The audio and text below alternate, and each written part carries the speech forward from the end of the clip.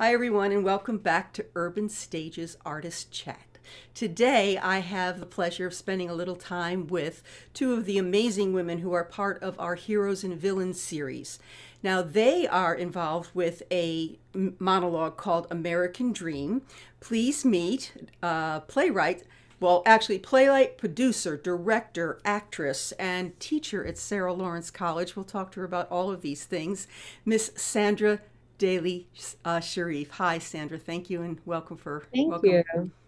And the a wonderful director who took on this project, um, NJ Agwuna. Thank you so much again for joining us, NJ. Appreciate it.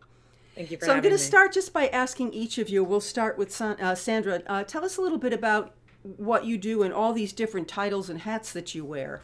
I want to get to know who you are a little bit. Uh, I've finally grown into just accepting that I'm one of those multi hyphenate artists. Mm-hmm. I used to think I was one of those people who just my attention span wasn't great and that I was all over the place and I got bored quickly and I thought there was something wrong with it. And um, you know, if anyone asked me, I, I I've done so much in terms of work and career and art um, and I've just sort of like settled into. I started out as a dancer, an actor. When I got bored, I waiting around for my agent to get me a gig. I would start producing, and I've been producing now for the last two, three decades. And how did really, playwriting come into it? Did well, you always write, or?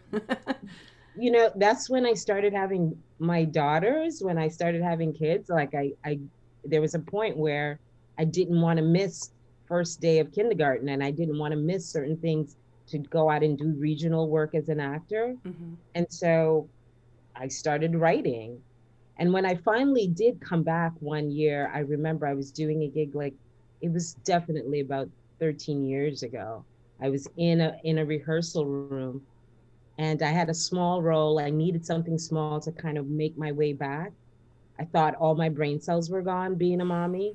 and um, I sat there in the rehearsal room and I thought to myself, need to be writing my own stories. What am I doing? You know, what's going on? And so it was just another hat that I put on in terms of starting to write plays. And it is, it has been about 13 years of doing that. Um, and how did you come?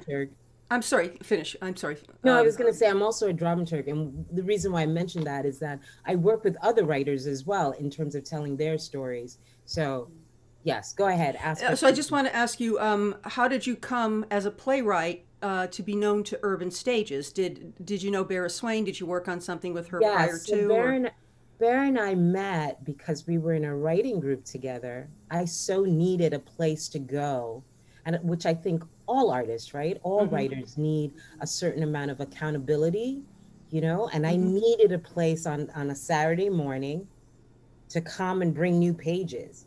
If I didn't have that group at Abingdon, where I met um, Abingdon Theater Company, that's where I met Bara at the time. We were in this writing group. I needed some place to come and bring 10 pages.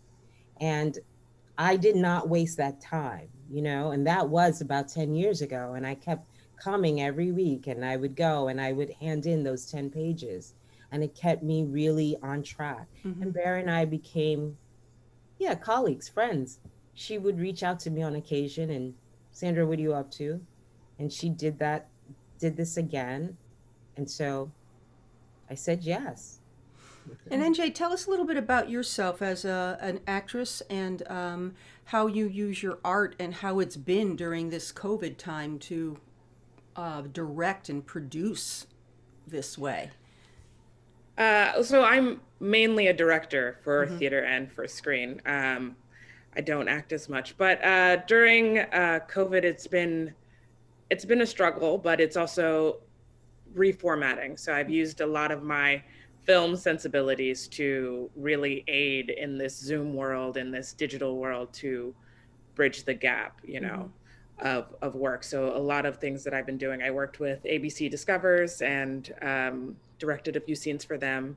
I've been devising with Tectonic via Zoom, which is an entirely different beast because mm-hmm. we aren't able to do our moment work and move as much. So we're doing a lot of textual moments.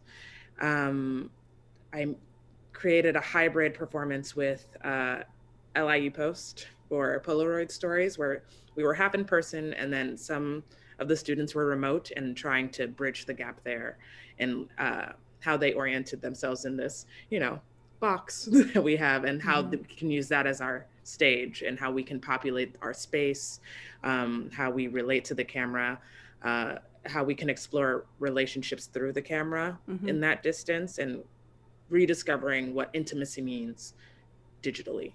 And you, I, I read, and this interested me very much, that you explore and investigate how to deal with trauma, traumatic experiences, and mental illness through this forum. How are you doing that, and how successful has that been in um, producing these kinds of amazing things that deal with this really sensitive topic?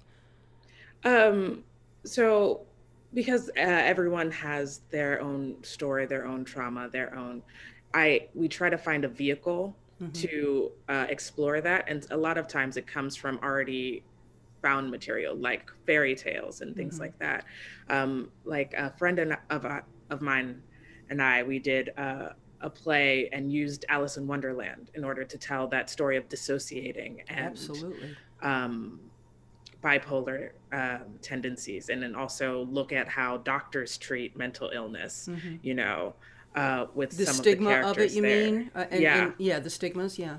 Yeah, especially because Alice is a person in a in a new place where everyone is looking at her strangely, but she's mm-hmm. not. She's of the world and not of the world. You mm-hmm. know, um, and finding ways to bring that into our own reality like what is our rabbit hole so mm-hmm. in that piece the rabbit hole was the subway mm-hmm. and dissociating on the subway you know when people are too oh, crowded yeah. and getting closer to you and it's like how do you escape that what is the rabbit hole mm-hmm. and sometimes it's like i have to get out but then the subway's stuck so you're like all right what's happening wow. um, so exploring that um, and taking the time to look at the movement and of what it means to be confined in your brain mm-hmm. versus um, expand to breathe and getting audience to audiences to also breathe along with you it's almost like a subconscious like meditation for all of us where we're like okay i can relate to that crowded subway thing mm-hmm. so if it could happen to you it could happen to me and how how do we make our way back to our bodies ourselves? Just out of curiosity what age group um, do you do that for adults and children? Because i would i would think that this would be really reaching out with this way uh, to children if um, i'm not sure where you're directing these programs to.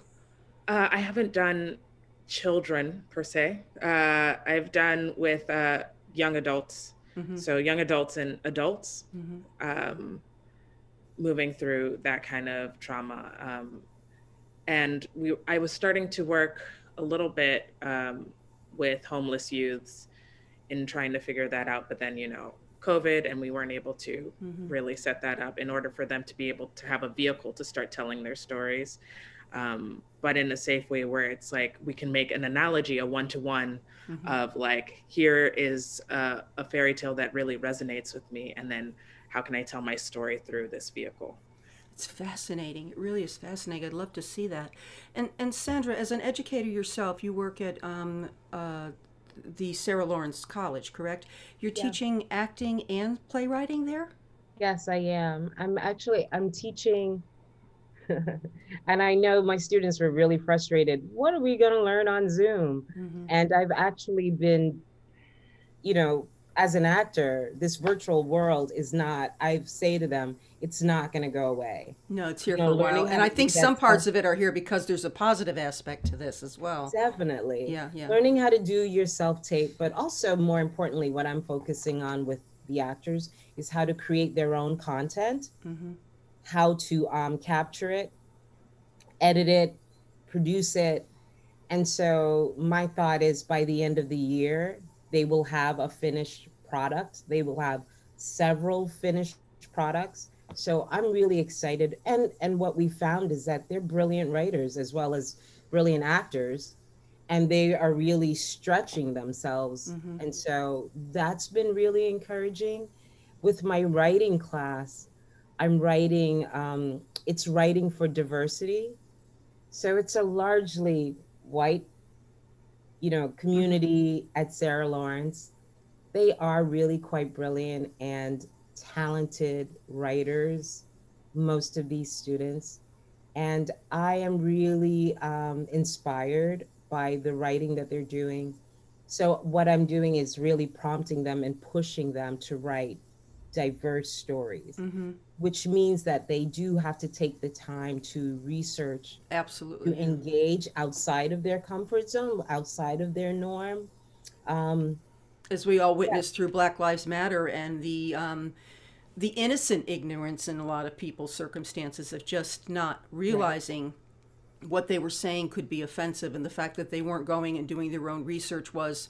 Why is it someone else's job to teach me what I should know? You know, so that was a. I'm sure that that's coming up a lot because there is a lot of um, self consciousness uh, from the non-African American community to broach the subject for fear we're going to do something or say something wrong and something. So I think that's that's pretty cool that you're challenging them to to look at things that way. And what they're coming up with, I'm sure, is probably interesting too.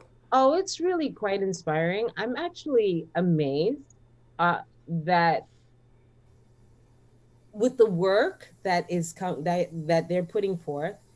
You know, when you think of Sarah Lawrence, the, a lot a lot of the students are I'm saying white privilege comes to mind. No, so- white privilege is there. White Sorry. privilege is there. But Yeah. there's a lot of other. Yeah, You for you what you find with that generation too is that they're redefining so many things around gender, sexuality. Mm-hmm. So they really consider themselves in many ways other. You know, sometimes when we say diversity, we automatically think black, and that's it's so Other is other, yeah. we're, we're talking about other whether it's learning Mm-hmm. disabilities or challenges mental challenges so many things gender sexuality all these different things that come in so i throw a lot of things into the pot Cool. you know whether it's like disabled or different and or other in so many different ways black is easy Yeah. you know what i mean and the stories they come up with is i'm so encouraged that if we have a generation that is thinking like this and posing questions like this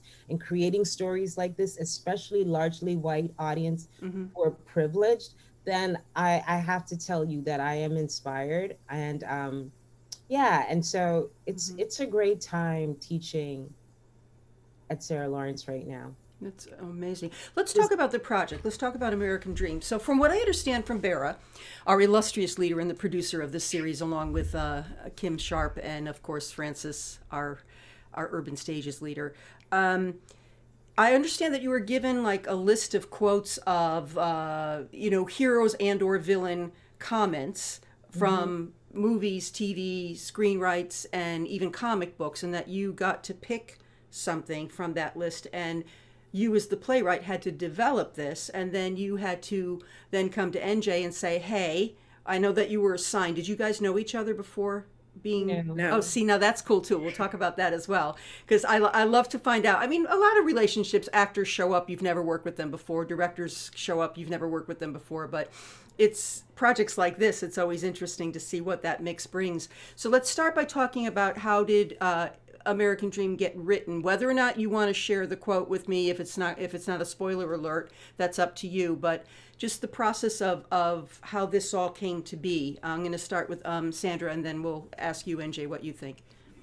Um, I knew right away I wanted to write something about the vaccine, um, only because I'm in a place that I just did not. I'm not first online hmm at all, and um, that means I, you're not my age. well, I'm just not on. fir- Yes, I don't. I, it's something that I please. I still have a bottle of Advil that is on my, you know, in my cabinet for years. Yeah. I'm just not that girl that is Yeah. running to get up there. Um, and then the thing that struck me was listening in the news. They kept talking about, especially with Black and Brown people, Mhm. especially with Black people. They keep bringing up Tuskegee, the Mhm. Tuskegee experiment, and I'm like, I just think people are scared. Yeah. it's untested. Let's not bring up what happened, you know, decades back. Mhm. Like black people are traumatized by Tuskegee. It's not we're scared. And Yeah. it's not just black people, white people, everybody's scared. I- Right. Pregnant women, I'd be afraid as a pregnant woman if I were pregnant to take it because it's going to affect the fetus, and if so, how? And it's not been tested, so yikes. Exactly. So Yeah. I I Yeah. I kind of was taking offense to this idea that people are are reluctant, and especially Black and Brown people, because of something that happened with the Tuskegee mm-hmm. experiment. Mm-hmm. So that was one thing. And so then I was struck again by the first two women that were put forward were Black women, Caribbean women, yes. like myself. They're the poster child for, oh, I got the shot. I got the shot. I noticed fine. that. Yeah, yeah. And I was like, oh, I'm not liking this at all. right? Um, this is not, yes. So I knew I wanted to talk about that. And then, of course, we're embroiled with the election. And here's Kamala and I, I identify with Kamala in that she's a Black woman, um, Caribbean descent, a mother who's very much in her life, mm-hmm. and uh, just as as myself. And so I did read all the quotes, and they all kind of like, mm-hmm. like, uh. and so I I really just lumped onto to Kamala, and created a story around that. Now, granted, I, you know, I had an opportunity to talk to the actress at the time and got some more ideas for the story. And that's really um, how the story came about for me. It just really came from the place of the vaccine mm-hmm. and what would it mean to have somebody want it. And and is that a hero or a villain? circumstance and and what's the line between being a hero for being the poster child as an African American woman to take the shot on TV versus the villain of everything else that's surrounding the forced um, hype of taking this right. you know so I, th- I, I think I wanted to I didn't want to be biased in just pushing my idea of there's fear. Mm-hmm. I, I wanted to have an opportunity for a conversation to happen on both sides, right? Gotcha. That there are people who are definitely get yeah give me the first i can't wait for the second shot you know what i mean mm-hmm. i want i wanted there to be an opportunity for conversation and what was the meeting i'm going to ask uh, nj this what what, uh, what was the meeting between you two like i assume you did it on zoom or something where uh, was it with, uh, with uh, the actress uh, is it Ka- kalia kalia Oh, Kayla. Kayla. Okay, so was it the three of you, or did you two meet first? And and when Sandra presented you this concept, how much did you collaborate? Um, what was that meeting like? Um, so we met first. Uh, I and Sandra met first, and I uh, I just I asked her a, a, few questions about the inspiration, and where it came from, and uh, a few of the intentions, so that I knew what I was going into with uh, when we brought Kayla into the room, um, because I wanted to understand where Sandra was with mm-hmm. uh, her opinion about the vaccine, and then where this character came from as well, um, and and just what what was the line that I was towing. So that was uh, what I wanted to understand. And, and did Kayla bring some of her own views after reading it, or was that welcomed, or you just kind of told her what her inspiration was as a director? How did that work? Well, we had a we had a conversation about her first impressions and images that came up for her as she read it, and then also what she was connecting with. And she mm-hmm. was also, uh, like the first actress, also had scoliosis and different things like that. So I was like, okay, so we have we have our in points for you as mm-hmm. well. Mm-hmm. And then we also explored different places in her apartment to. Work. That was my next question. What did it look like, and where was it? Where was it placed? You know, um, in terms of so, a, a directorial background or setting. Right. Um, so I do this with everyone that I work with on Zoom. I'm like, please take me on a tour of your home, of the places that you feel comfortable letting an audience in, mm-hmm. so that we that's where we'll work from. Um, and so we we looked at her room first, and then we also looked at the living room. Um, we landed in the kitchen because there's just something about like having a phone call in the kitchen, mm-hmm. and then also trying to figure out who our Zoom audience was. I was like, all right, so who are we talking to on Zoom? And Sandra also helped with that. It was like, I think it's, you know, more interpersonal. So it's like you're talking to a friend. So mm-hmm.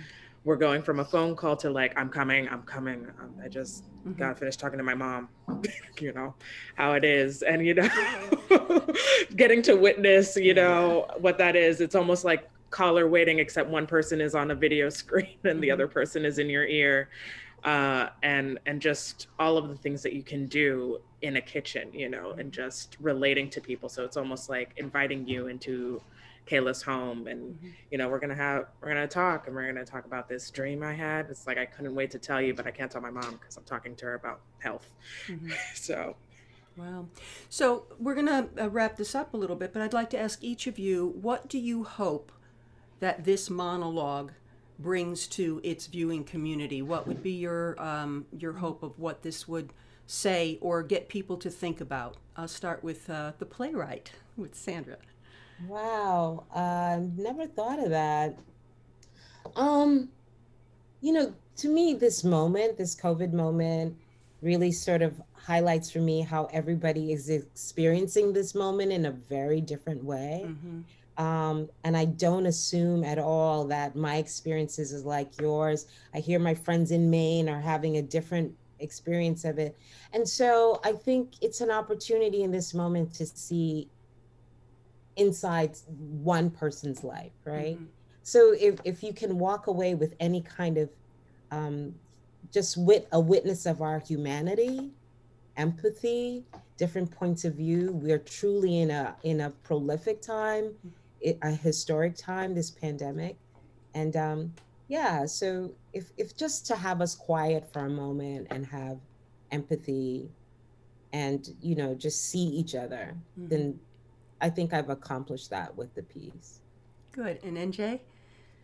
Uh, I think it's along the similar line, just mm-hmm. being able to see and empathize with your fellow people and also having you know, I hope that the audience can see themselves in Kayla and, um, you know, it reminds them of their family and their loved ones and who loves them, you know, mm-hmm. and that they are encouraged to continue to forge those connections, you know, like COVID can make you feel so isolated and almost forgotten. And mm-hmm. hopefully, mm-hmm. you know, connection is a two way street. So hopefully you lend out that mm-hmm. olive branch and someone reciprocates as well. And seeing one person struggle makes you think about your own and others, perhaps, or um, yeah. if there's a different light from this person's perspective. So I'm really looking forward to seeing it. it. It sounds awesome, and this project sounds so fantastic.